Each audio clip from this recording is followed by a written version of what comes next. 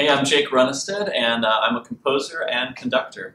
And I got into music uh, from a very young age. When I was a kid, we did a lot of music in my home. We sang a lot around the house. My parents were both very musical, uh, so my sister and I, we would sing along with them. Uh, we had a piano at home, and I began plunking up melodies that I had heard on the radio or at school or somewhere else. And then I started to embellish, add little chords, and then I started creating my own sounds. Um, and so I was writing little piano pieces, and then in high school, I wrote a lot of terrible love songs, and I was in a couple bands. Uh, and then I decided that I wanted to go to college to study music education. I was going to be a high school band director. And uh, I had a great band director in high school. Um, and so I went and I finished my degree, but um, kept composing, and really that was my that was my true love.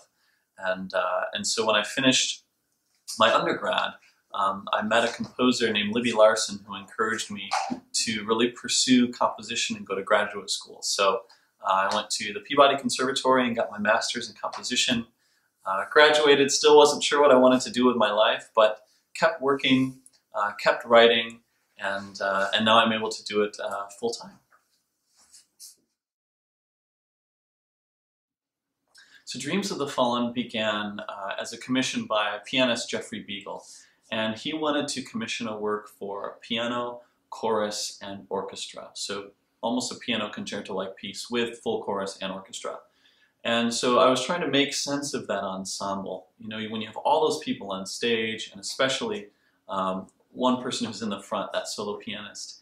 And so uh, I was looking around for stories or themes and I came across this story in the New York Times where they were looking at um, individuals who had served in the, the military abroad and then had returned, especially in, in Iraq and Afghanistan, and returned from the experience and tried to assimilate back into everyday life and how difficult that was because of what they experienced. And, and so I thought, well, that would be a really powerful story to tell through music. And so I began to search for texts. And at first I was looking at texts uh, about war throughout history. And then a friend of mine recommended the poetry of Brian Turner. And Brian was a poet first and then served in the military in Iraq and Afghanistan. And, um, and he has two collections of poetry that are published that are just incredibly powerful that talk about his experiences, the difficulties, the, um, the idea of, of, of a, a, friend of his being, being killed by a bomb, um, another friend who took his own life, uh, and then coming home and having all of these things ring and continue in, in your head, in your memories. Uh, and so I chose poems from those books and used those for the text of the piece.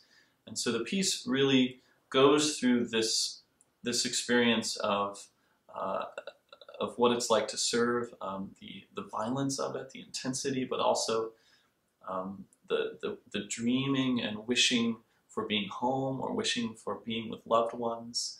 Um, and then also once you return and, and how all those things stay with you and continue to be a part of your life. Uh, and so I worked with five different orchestras that came together to commission the piece, um, groups from all across the country, and so had performances with all of them with the pianist Jeffrey Biegel, and it was a really, really powerful experience.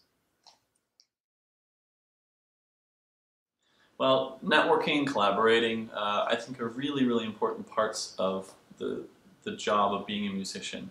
Um, I like to think of it more about um, creating meaningful relationships with people. I think that when you uh, really approach someone as a fellow human and not just a business transaction, that it makes everything that you do so much more meaningful.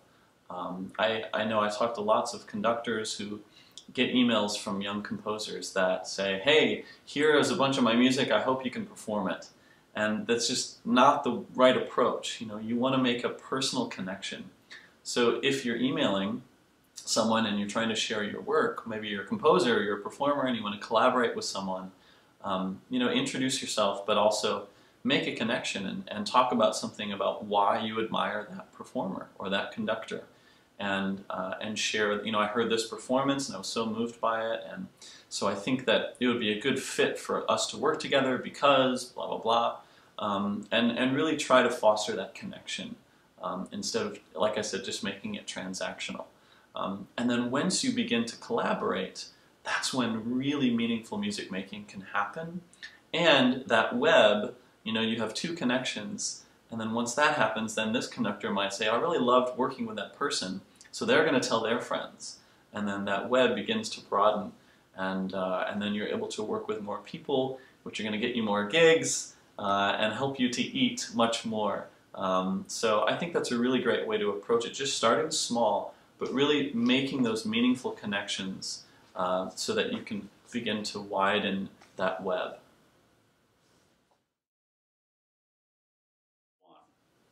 So technology is a really amazing way to help get our music out into the world. I have a lot of videos on YouTube um, that ensembles have recorded.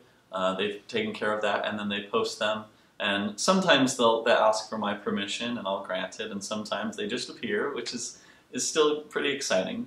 Um, but it's, it's a really cool way to see what kind of life this music is having, and everyone has a different interpretation.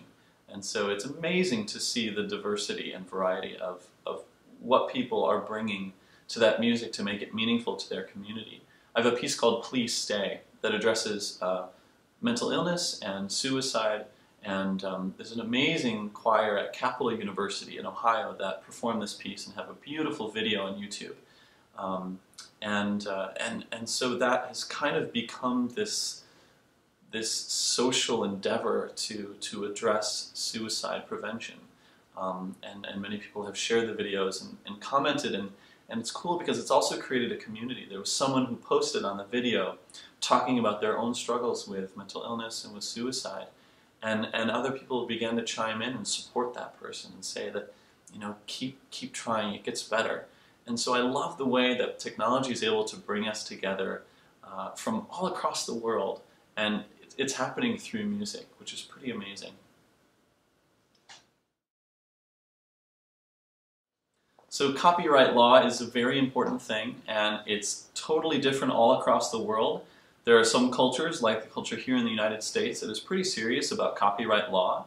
Um, but there are other cultures that freely duplicate you know, copies of music and um, in some cases don't necessarily know any better or don't understand how that functions and how that takes away money from, from the creators of the work. Um, but, but I think it's a, it's a really important thing for everyone to be completely educated about.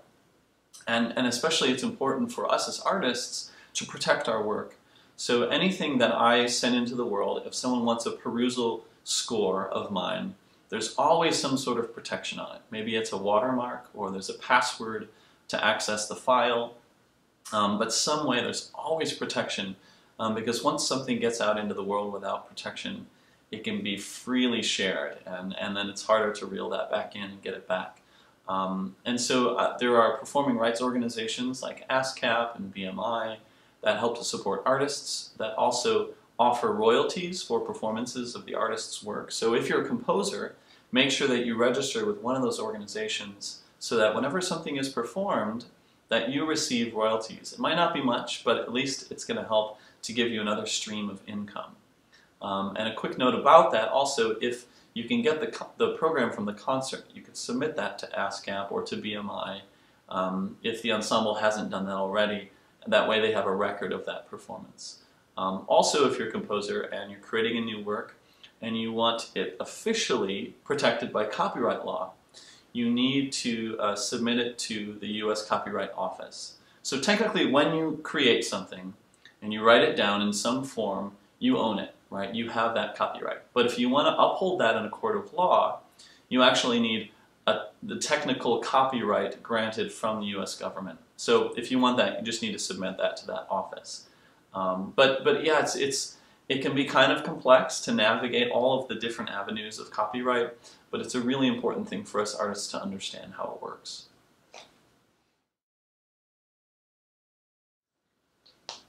So when I create a new work, uh, in this context, let's talk about a vocal work. So there's always some sort of a text that I use. so first what I do is really learn as much as I can about the text, once I've found it, which takes a very long time to find just the right one. Uh, but once I do, I really try to understand who wrote it and what was going on in the world in that person's life at the time that she or he wrote it. And then try to really figure out what, what, what that person's saying. what the form of the text is. What are the, the scenes or the colors or the sounds or the feelings that come out of it? And that usually begins to dictate uh, a form, or uh, I like to think about like a you know like a painting. There's a certain sound world or visual world that it that creates, and so then when I begin to to create the music, it's all living within that world. Um, and so once I have a clear sense of what the text is all about, um, I really just take the words and I improvise singing them.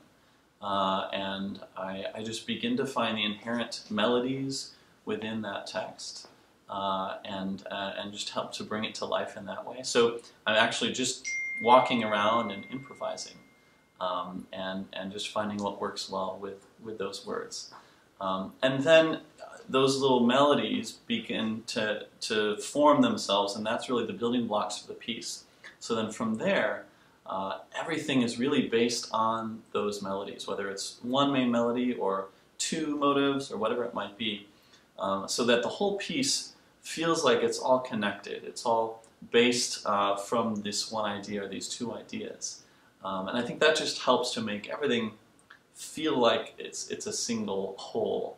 Uh, as opposed to all these different things that try to come in that we try to do. Sometimes we throw in all these ideas, and it's like if you're cooking and you're making you know, beautiful spaghetti bolognese, and you're making this sauce, and if you throw in all the spices, it tastes terrible, and you can't get any of those flavors. But if you know just what to add, and just very simple and high quality flavors, then it's this beautiful taste. Uh, and so I think that's a great metaphor for how we create music.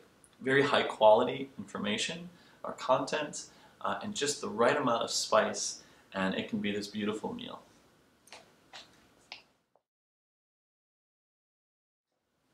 I think for a very long time I've felt most comfortable when I've been creating music. So it always just felt like the right thing to do. Uh, it was my, my home, was just creating uh, and making music. Um, and so I, I, guess the point where I felt like it was um, what I wanted to do or it was really what I wanted to focus on uh, was when I began to, to understand when other people were being positively impacted by the music or by what I was creating and getting their feedback and understanding how it was meaningful to them.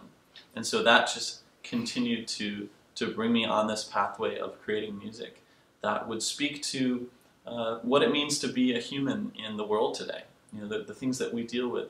And so I really try to address those things with my music.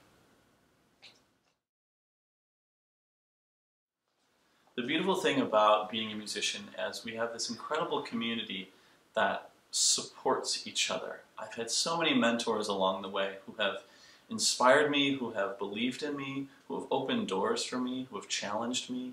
Um, my high school band director, Rick Durango, um, Libby Larsen, the composer, who really encouraged me to pursue composition and go to school and think about life as a composer um, my teacher in grad school, Kevin Puts, my parents, my family, my friends. Um, it takes a whole community to really make this happen. It's not just me on my own, but it's me respecting and listening to those people who have lifted me up, who have encouraged me, uh, and, and continuing to, to really have a responsibility to create meaningful art.